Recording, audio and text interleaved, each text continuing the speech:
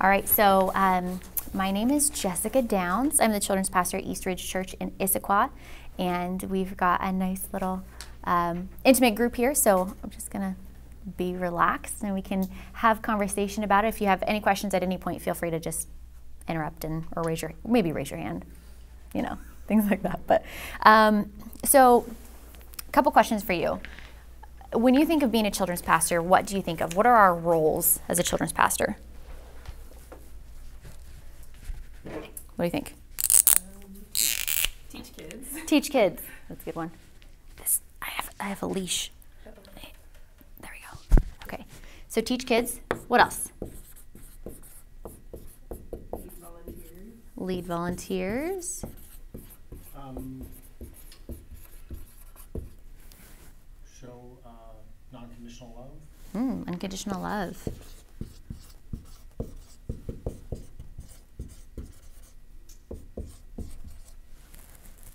What else? These are great.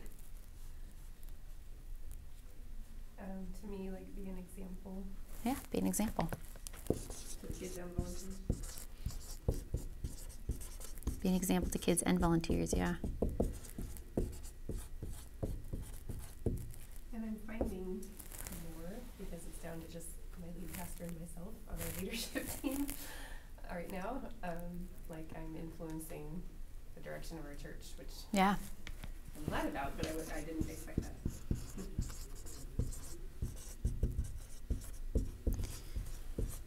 I have horrible handwriting. Kind of being lazy about it. Sorry. Well, that kind of. T- preparing, prepare. Yeah. What was the first part of what you said? preparation. Oh, yeah. preparing. Preparing. yeah. Life Preparing kids for life. Yeah. yeah, that's, Oh, I. Okay. I thought you meant, like, Welcome. prepare. That's okay. We're talking about roles. Our role as kids pastors. What does that look like? We got te- of all trades. Yeah.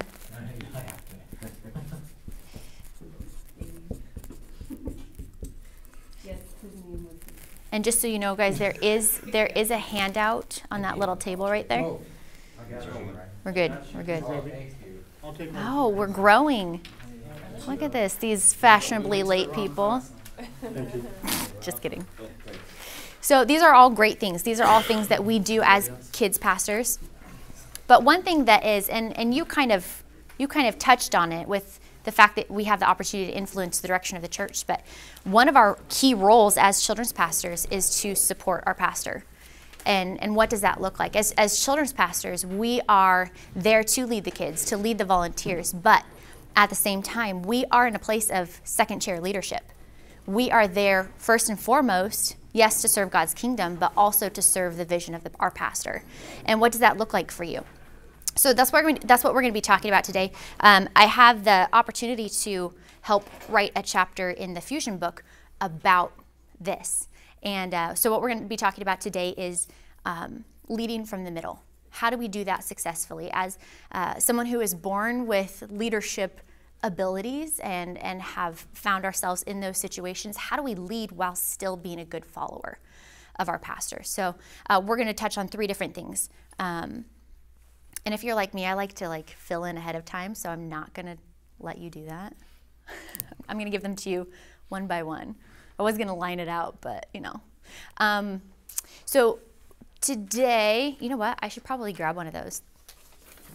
Thanks. Just so I'm making sure I'm filling in all the, the blanks.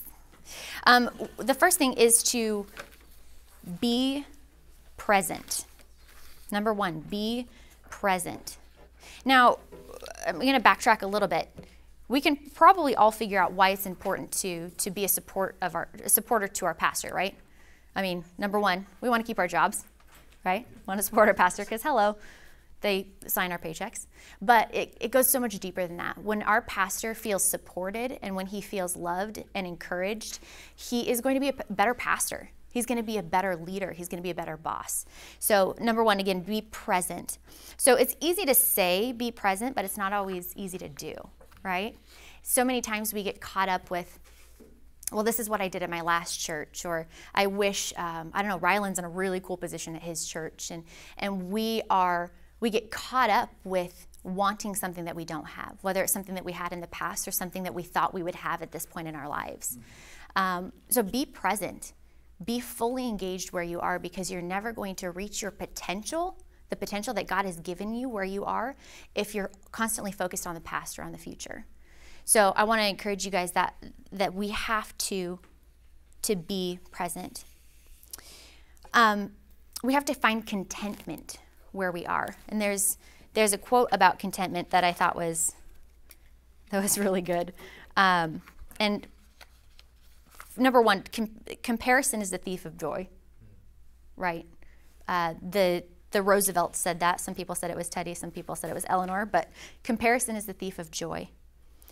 But also, contentment is not the fulfillment of what you ha- what you want rather. Contentment is not the fulfillment of what you want but the realization of how much you already have. So contentment is not it shouldn't be circumstantial. It shouldn't be based on what you have or what you don't have. It should be based on who you are right? We are children of the king. We're sons and we're daughters of the king. Just like um, al was talking about last night of finding our identity and, and who we are and whose we are. Our job is only a part of, of, it's not even who we are, it's what we do, right? God has called us to it. And so, in that sense, He has created us for that. But we are not, first and foremost, children's pastors. We are children of the King. We are followers of God. So, find, finding contentment is not, um, it shouldn't be based on our circumstances. I mean, think about Adam and Eve, the beginning of the world, Genesis. You've got people who were put into paradise Nothing could have been better. And yet they still found that they were wanting more. They were wanting bigger. They were wanting better. They, they wanted what they could not have. The one single thing that they could not have in the entire place, that's what they wanted. So we all know that, like, the, the phrase, the grass is always greener on the other side, we all know that that's not true, right? It's, it's, it's never true.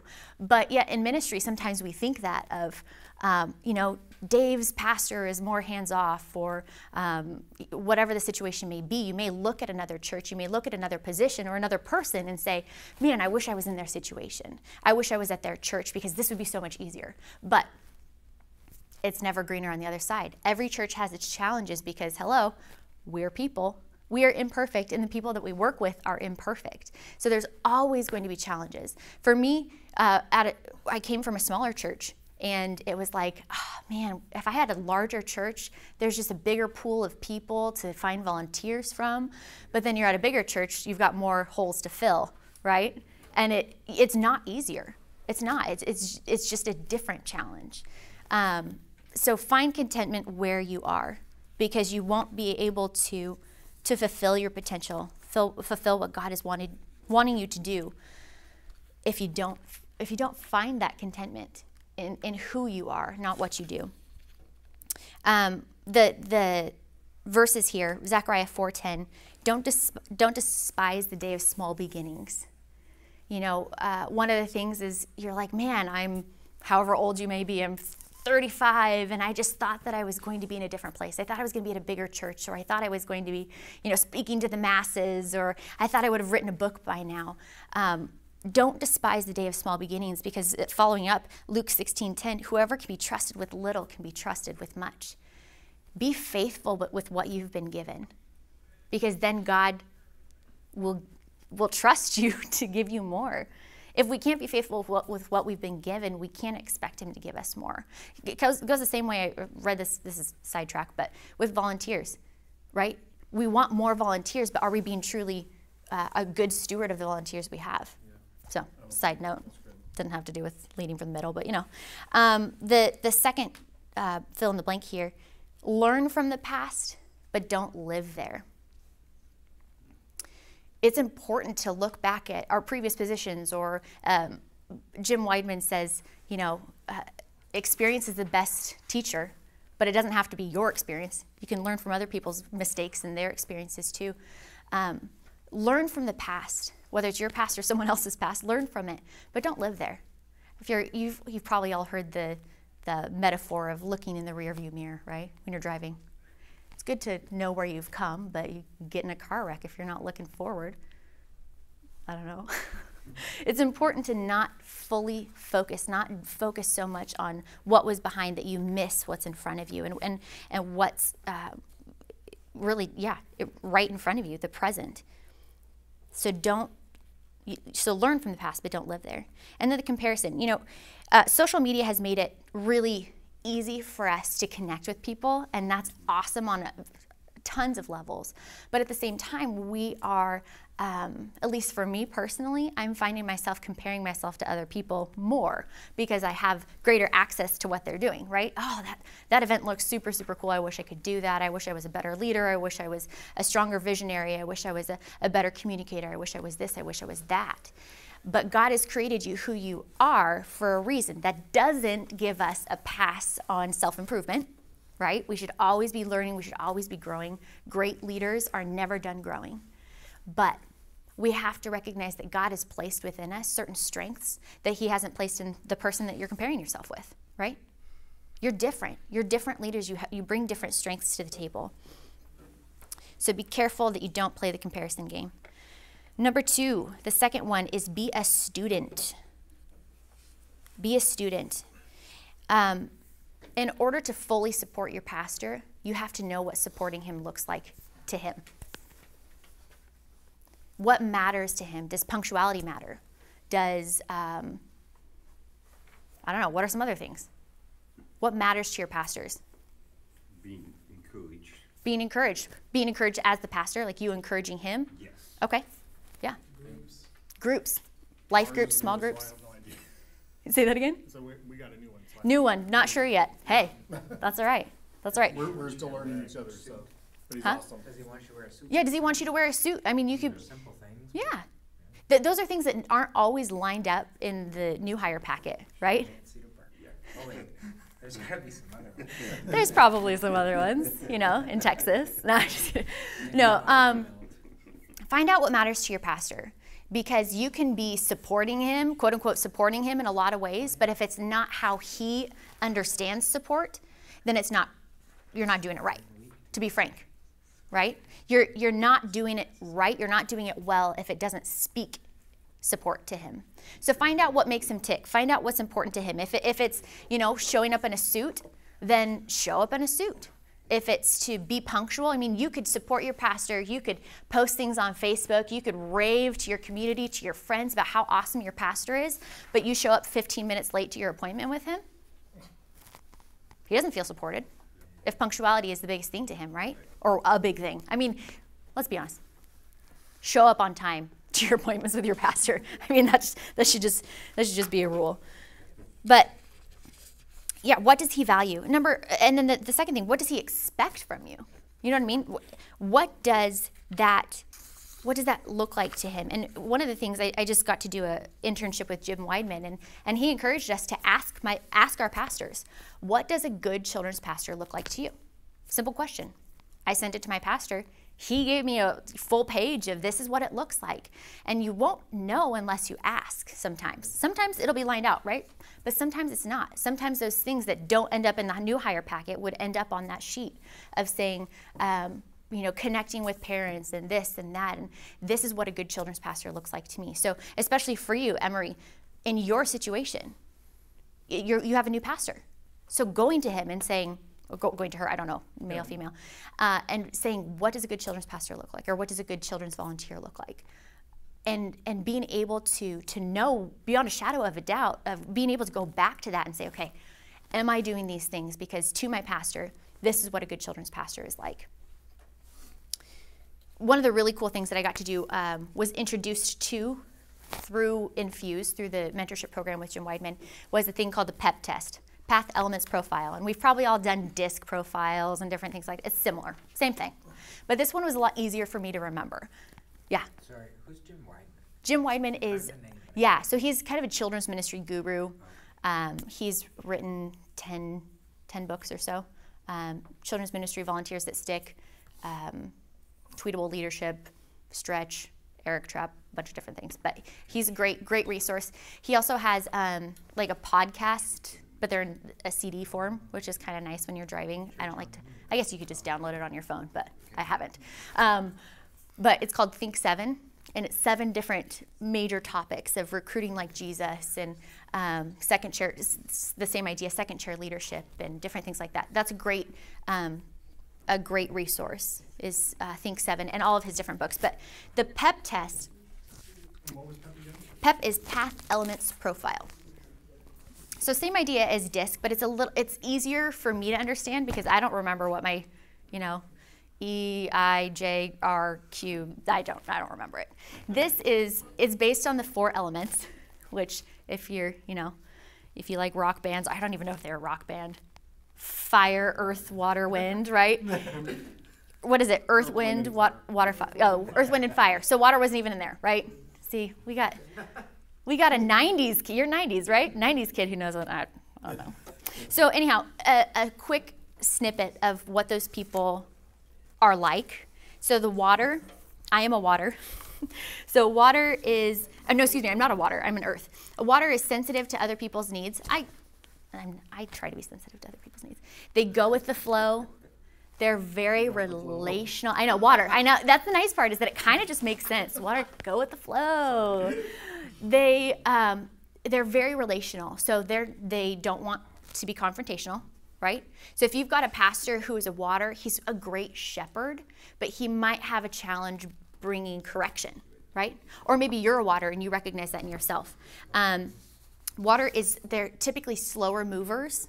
They might, when it comes to a change, they might be okay with change, but it might take them a little bit to grasp it and to, to actually implement it. And they are good at maintaining. In earth, which is what I am, in earth is driven by orderly tasks we are reliable. We thrive on details. We like to stay focused on one task to get it done well. Um, and we also tend to be slow movers. Not always super relational. You know, we're stable. Earth, stable. Then there's wind.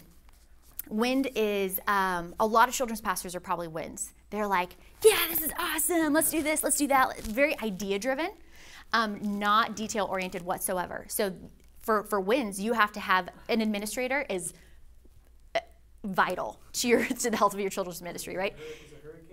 Hurricane. So you are probably very much a wind, and you can be a wind water, or you could be, you know, you could be a mix of things. There's also called fusion. That's which fusion, which is funny, but a mixture of everything. So uh, wind, they're dreamers. They're very relational. They like looking at the big picture. Doesn't want the details. Prefers a fast and changing pace. They like to initiate things. Um, they can be restless. They they want change. So if things have been the same for a while, they might just want to switch it up just because because there's new things. We gotta we gotta keep going. We gotta keep moving. Keep shaking. Fire. Fire is a visionary. They are also, like Earth, they're driven by tasks. They uh, tend to seek power or control to achieve the goals. So they, they're, uh, when you think of a leader, kind of take charge mentality, fire is pretty much that. They move quickly and they enjoy initiating tasks. So they enjoy initiating tasks. Um, they don't want to like get bogged down by the details, but they want to know the details. They want to know that you are doing the details. So if your pastor is a fire, uh, one thing that fire is not, they're not relational. They're just not very relational. So, something to, uh, if your pastor is a fire, you don't want to say things like, I'm just really feeling overwhelmed right now. I've just got a lot on my plate. If you have these feelings, they don't like feelings. Not that they don't have feelings, right? But they don't want, they're not driven by feelings, they're driven by tasks. And so, for you saying, I feel overwhelmed, they're like, well, give it to someone, to, someone else to get done, right? They just want to make sure that it gets done. And uh, they, now that's not probably not true for every fire, but generally speaking, a fire is someone who um, just wants to make sure that it gets done and they don't really want to get emotions mixed into there. It's your job, right? It's your job, so get it done. Whether that means you do it or someone else does it. Now, if you've got a person who is an earth, you're going to have to update them on all the different all the different details that are happening to make sure that they know that things are getting done in an orderly process right? If you have a pastor who's a wind, they don't care about the details. They want it to happen. They want it to be big. They want it to be awesome. They want people to have fun. They want people to be to, to, to have relationship, but they don't they don't care about how it gets done as long as it gets done. So kind of a hands off. And then if you've got a person who's a, a, a water, they want to know that you're doing good. They want to know that you're doing okay as a person, as a leader, that you are emotionally healthy. They want to make sure that the people that you're leading are emotionally healthy, that the kids are doing well. Um, very much, very much driven by that relational aspect. So you have to, as children's pastors, we have to learn what our pastor's language is. Because for me, um, my pastor is a little bit more of on the fire side. So I have to be careful as I'm, I'm an earth, so I don't, I'm not necessarily the emotional side, but I'm also a woman. So hello, we've got, we talk about emotions more. So I have to be careful to kind of turn that off, turn off the emotional side of things and say, okay, you want to add things to my plate. That's fine. We can do that. We can make this happen. If this happens, I will have to take something else off my plate. So um, you just have to speak as a, well, even saying I isn't always a good thing. Talking about we. Yeah, we can do that. But something's going to have to, something will have to move. And that's cool. We can totally do that. Always be on, in favor of it. A fire doesn't want to be, um, doesn't want to be challenged in front of other people. So if you if you have someone even on your team, if you're a fire, you might recognize this too. Of I'm cool taking correction, but don't do it in front of other people. So when when you do have to bring correction to one of your volunteers, if they're a fire, you have to do it in private. Do it to the side and say, hey, I'm, I'm kind of seeing this. Um, this pep prof, this pep test is uh, super super helpful in dealing with anyone in dealing with your spouse so you can have your spouse do it and you're like oh that makes a lot of sense and i've got i've got mine and you're welcome to come see it after after class here after the workshop um, of there are strengths and challenges for each one this the lab or whatever we're not supposed to call it yeah um, strengths and challenges. And one thing that was super cool um, side note that that i was taught wow this microphone's way down there. Hello. There we go. That I was taught is that um, when you are walking in the Spirit, these are your strengths. When you start seeing these challenges, that means you're walking in, walking in the flesh, right? And so when you see yourself going into those, for me, it's a perfectionist tendency. When I see myself going over into that perfectionist uh, side, I have to pull myself back and say, okay, this is not of God. Perfectionism is not, you know, that's not a, a godly trait. We can never achieve perfectionism. So um, going back into the, the spirit spirit led side. So anyhow, um, that was cool to me. I thought it was a really cool resource. The last, I want to make sure that I'm filling out the yeah, learn to speak his language because if you like I said at the beginning, if you're in, if you are supporting your pastor in a way that he doesn't understand being supported, um, then you're missing it, right? You're not doing it well. Uh, and it's kind of a harsh reality, but it's, it's true. You're not doing it well if he doesn't feel it. So um, you guys know the five love languages, right? Same thing with your pastor. Now, physical touch, you got to be careful with that one, right? But knowing how, knowing how to speak his language. Um, when you're married, speaking your wife's language, right? speaking your husband's language. Of you might you might be showering your husband or your wife with gifts, but if that's not how she's receiving love, then that's just a bunch of money to spend, right? It's the same, same kind of concept with your pastor. So um, the last item here is to be an encourager. One of the best encouragers we see in the Bible is a man named Barnabas. And Barnabas was a leader. And um, Paul came along and he, Barnabas actually took a back step, or took a back seat to Paul and let him shine, let him do uh, what God created him to do. And you see more and more as, uh, as it goes on, you see Barnabas taking this back seat and being okay with it and encouraging Paul and, and letting him know that he, he's doing a great job and he, you know, just letting him, letting him go and letting him sail with what God has placed in his life. And for us, we have to do the same thing to our pastor. Encouragement is a basic human need. We all know that ministry is ministry easy No. It took a little longer than, than I thought it would. Ministry is not easy, ministry is hard. If we need encouragement, we also have to know that our pastor needs encouragement. He's, he or she is a human being and they need encouragement. So it is up to us as a staff person to provide that encouragement. We all have days where we um, have an off Sunday, right? And like like Rebecca was talking about, no one came, or I totally messed that up. I wish I would have done this. And your pastor has the same days. He has those moments where he needs someone to come alongside and just encourage him. So, what does that look like? What are some ideas of how to encourage your pastor? Tell testimony. Testimony. Yeah, that's great. Tell a testimony. Reinforce the idea that you're supporting the church as a whole. Yeah, reinforce the idea you're supporting the church for as a whole. Yeah, I like that. Uh, what does that What does that even look like? Just like, uh, uh, f- like for us and what we're trying to like s- initiate is is that it's not uh, kids are over here, Mm-hmm. and youth is over here, and the traditions is over here, but we're, we're, we're the church is as one part. And so Yeah. mirroring mirroring what they value, what the church values in in both kids service and adult Mhm. service. Yeah, mirroring. Because- Sorry, I have to say it for the microphone again. Keep keep saying what you're gonna say. Uh, because ultimately it was the senior pastor who Did I say mirror? mirror. Did I say mirror? I meant microphone. Struggling. um, ultimately, it was the senior pastor who initiated Right. um, all the changes or, or whatever it may be, um, but the way that we do church.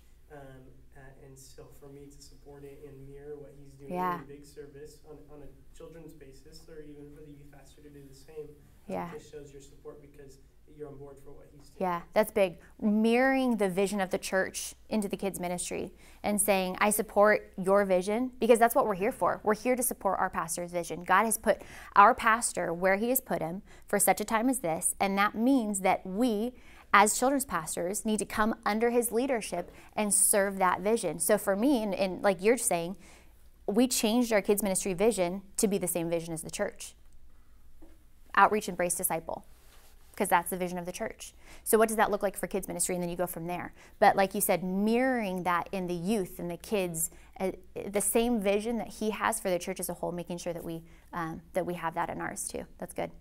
How else can we encourage our pastors? How about cards? Write them a note. Right? Write them a note. How much? I like getting mail, handwritten cards. Hello Play jokes on them. Play jokes on him. Hey, if your pastor is a jokester, you do those pranks, man. If he's not, as we're speaking your pastor's language is important. if he's not a jokester, that would, that would go well. Not go well. How about remembering his birthday? Remembering their, his anniversary?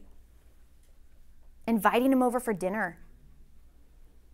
Whatever you think encouragement looks like to you, how do you want to be encouraged? Doesn't hurt to do that for your pastor, right? Again, it's important to speak his language, but I mean, for the most part, if you're just looking to encourage someone, encouragement is universal. what, is, what does that look like for you? Do that for your pastor. And one other thing is, um, and this isn't always easy, but respect your pastor's decisions. Because ultimately, it's, it's his, ultimately, it's God's church, right? But it's his church. God has given him that church. So respect his decisions. Now, when it comes to fundamental beliefs, if you're on a different page, then you might want to look at going somewhere else. But uh, if he has made a decision for the church as a whole, come under that decision. Be the same in the office as you are in public. He needs to know that you've got his back. Social media, be careful what you post. Um, so, in, in conclusion, be present, be a student, be an encourager. Your pastor has chosen you. Whether he hired you on or whether he kept you on after a transition, doesn't really matter. You are where you are for a reason. He believes or she believes that you can do the job that you have been asked to do. Sometimes it, sometimes it doesn't always feel like that, right? But um, again, Jim Wideman, I I'm sorry, I just spent six months with him. Jim Wideman talks about how um, there's no one on earth other than your mother that wants to see you succeed more in your ministry than your pastor. So even in those moments where you feel feel just the pushback and you feel like, okay, is does he believe in me? Just know that the fact that you are still there, the fact that you have the position that you are in, goes to show that he believes in you. Goes to show that um, you are where he wants you to be. So take any um, take anything that, that is said with a grain of salt, knowing that he wants to see you succeed. Because your success means the ministry of the, the church is a success. So Mark 3, I'll, I'll finish with this. Mark 3:25 says, "If a house is divided against itself, that house cannot stand." So in your church, with your senior pastor, even if there is um, a butting of heads, even if there is a personality difference of I'm water, he's wind, or whatever that might look like for you, just know that you ha- there has to be unity, or else the church cannot succeed.